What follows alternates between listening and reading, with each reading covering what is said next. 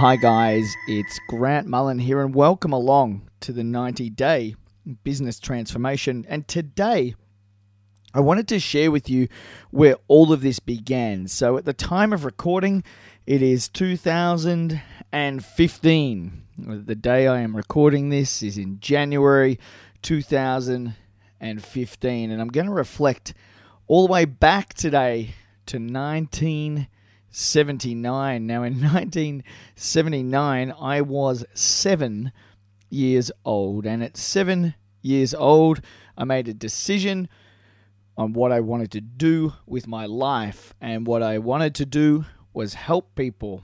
And that was a decision that a seven year old made. So now at 42 years old, going into my 43rd year, I'm going to share with you the book that changed my life and why. And I'm going to show you how, even way back in 1979, I learned some lessons that I still teach today in business. So the book, here is the front page, is called Doghouse for Sale. And uh, you'll see I've scanned the original book that I had. I've even gone and coloured in the little dog's eyes with a biro, probably when I was able to first get my hands on a biro.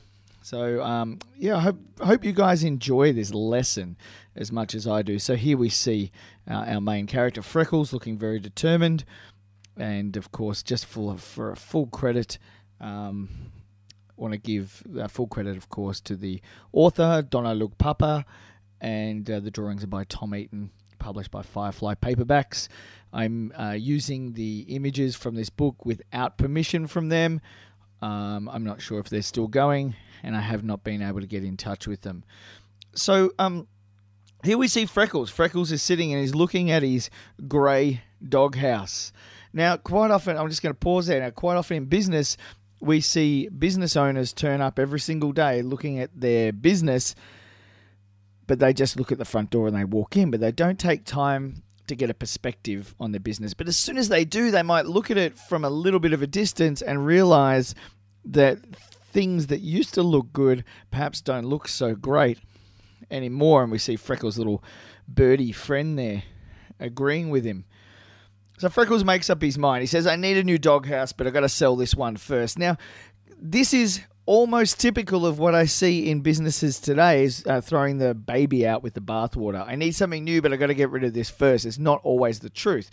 That's why I created the 90 day business transformation. I'll tell you a little bit more about that towards the end. So Freckles made a sign, said doghouse for sale. He went ahead and just decided he's going to sell the business or sell the sell the doghouse.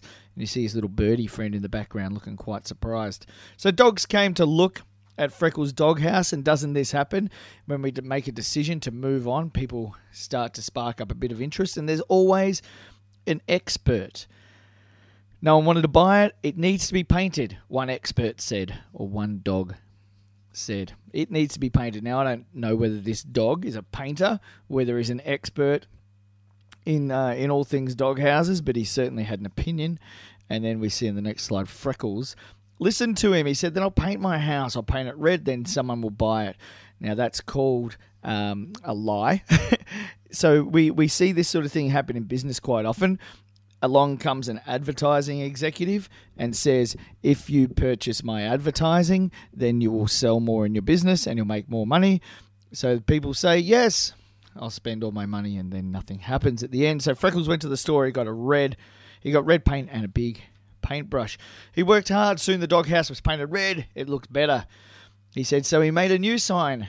Of course, red doghouse for sale. So the business or the uh, the thing for sale there has a new descriptor. Of course, dogs came to look at Freckles' doghouse, but no one wanted to buy it. One expert dog said, Your house needs a new bed. I don't know if this guy, if this dog, was an expert in beds or not. But Freckles, you guessed it, listened. So I'll make a new bed for my doghouse at Freckles, then someone will buy it. So what he's saying is if then, if I make a new bed, then this will happen. If then. It's a very important rule that we need to learn in business. And I'll tell you more about that in the 90 day business transformation. So he went to the store to buy what he would need. He worked hard. Soon the doghouse had a new bed, so he made a new sign. You guessed it. For sale, red doghouse with new bed. Dogs came to look at the doghouse. No one wanted to buy it. One more expert said, Your doghouse needs a window. So I'll make a window, he said. Then someone will buy it. He goes back down to the store. I love the illustrations in this book. He went to the store to buy a saw. I love that dude just staring at the at the wrench there. I used to look at that for hours when I was a kid. And um, sorry to digress, but I, I love the illustrations in this book. They're all double page spreads as well, they all flow on. If you do happen to find a copy of this book, by the way, let me know because uh, they're very hard to come by. So Freckles worked hard. Soon the doghouse had a new window, and so he made, of course, a new sign. His bird mate thinks it's pretty good. For sale, red doghouse with a new bed and a new window. So dogs came again to look at the house. No one wanted to buy it. Here's another expert. I like to think he's got a little Geordie accent. Your house will look better with some flowers in the yard, one dog said. So, again, another expert offering expert advice to poor old Freckles, who, of course, reacts. He goes to the store, very determined. He wants to buy some flowers from the lovely young girl, and he plants the flowers around his doghouse that we see, as well as some artificial turf and some other bits and pieces. Of course, he changes the description of what's now shaping up to be a pretty darned good looking doghouse for sale. Red doghouse with a new bed, a window, and flowers. So, of course, more dogs came. We like your house very much, the dogs told Freckles, but it needs a fence. A fence, that's what it needs, says Freckles. He agrees. So, of course, he reacts again. He listens to what the marketplace is saying. He reacts. He goes out. He buys a white fence. He put it up around his doghouse and he made a new sign describing what he had. So, of course, some dogs came along, and in this time, someone wanted to buy it. But Freckles had a look around his house. He looked at the red paint at the window, he looked at the pretty flowers, at the white fence. He said, You know what? This is not too bad. This is a fine doghouse, Freckles says. I don't want to sell it. So then Freckles went inside his house to take a nap on his new bed. The end. Why is this such an interesting book to me? Well, if we took the time to have a look at our current businesses with the perspective of what they are now and what they could be, and instead of reacting to the marketplace and what the marketplace wanted first off, and we looked at what we really truly have and what we really truly offer, and we found the right segment in the marketplace and we're able to go to that segment in the marketplace and offer what we have in the right way, for the right price, in the right timing, for the right people, then we wouldn't have to listen and respond and react. In fact, what we could do is we could start off today looking at what we had and we can go out and make it exactly the way we want it. So we have a product that's offering a solution to the marketplace for more people than are going to pay a higher price for what it is that you offer. So, what you really need to learn in business is the following 12 things, and I'll go through them really quickly. Number one, you need to learn your identity. You got to learn your purpose and what you stand for, what you stand against. You need to know your values and your story, and you need to be able to have a sense of mastery around that. And then you need to be able to show why you're the expert in the market. So, number two is expert. You need to show why you are the person who others want to come to. You want, you want to be able to show them why now is a good idea and why what you have is a good idea for them. The third thing you need to be really clear on is your culture. What is it? What are the stories that you create around your business? And how have you got your team on board so that you can be you and get paid? The third, fourth, that was the third thing. The fourth thing, sorry, is policy and procedure. You need to make sure that your policy and procedure is really, really clear. Number five, you're going to need a plan that's got to be able to, so you can think once and deliver often. And you know what? So that you're not doing what Freckles did before and reacting. You're sticking to the plan and you're heading in a direction that you know is right for you. The next thing you need to know in your business are clear roles and objectives. You need to know who's doing what and where and what they're worth. The seventh thing you need to know, of course, is your organizational structure. Structure. You need to know where um, where people bleed to because leaders in business are bleeders and you need to be able to find whether people your staff your people are bleeding up or bleeding down. Then, of course, you need to know the seasons in your business, or we call them zones.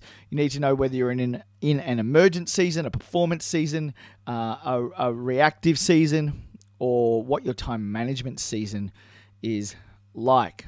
The next thing, thing number nine that you need to know is how to test, operate, and test again so that you can replicate, automate, and deliver. You need to know the formula for sales and marketing so that you can fix everything in your business. Number 10 is you need to know the market really, really clearly, how to leverage it, how to deliver what people want, and not react to what they need.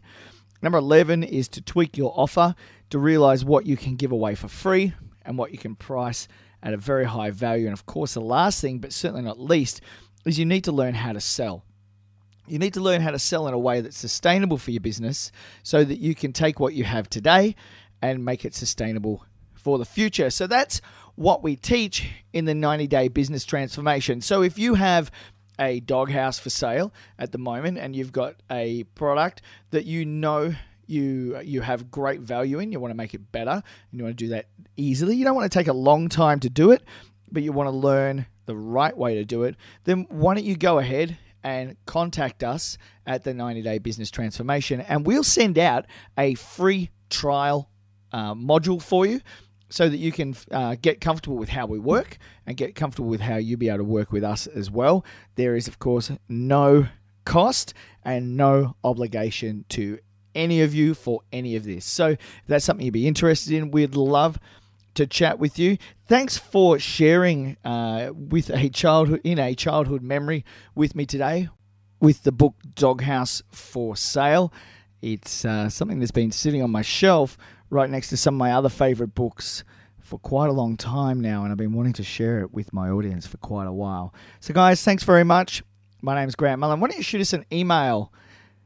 Grant at grantmullen.com.au if you would like a free copy of the free trial of the 90 day business transformation, and we'll shoot that off to you straight away. Hope you have a great day.